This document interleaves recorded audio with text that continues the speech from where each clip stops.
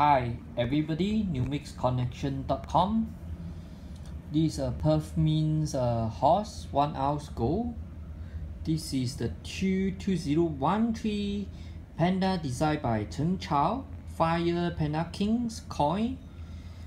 Have you seen anything of the red color gold?